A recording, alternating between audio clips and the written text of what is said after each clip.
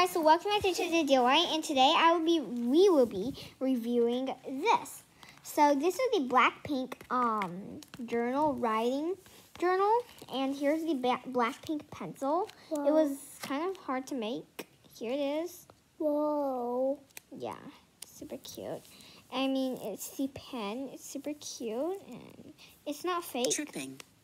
I keep tripping on my shoelaces. Because you can actually write with it. So then you just want to put it in here. I also learned this from Tonni Arts and Crafts. I think that's what her channel is called or her exact name. But now we open it from here. We open it and we have this.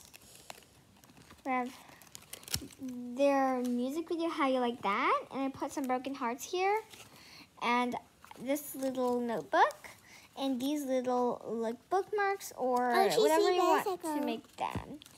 And yeah, it's super duper cute. These have like little pieces of paper, so you can just pull them out and then just write with them. Like pull them out and just write with them. It's super easy to make. I will link the video down below to if you guys want to make it with it too. And let me teach you how to put it. So get back, put this, and then put it And here. at the front, it also say, said sweet but psycho. And then you like just put it there.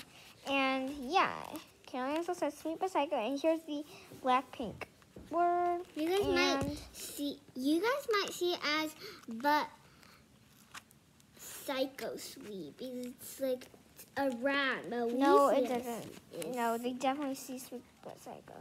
So yeah, I really hope you guys enjoyed this. I'm definitely going to link the video down below so you guys can make this too. They also have a BTS um a tutorial, but I didn't make that one yet.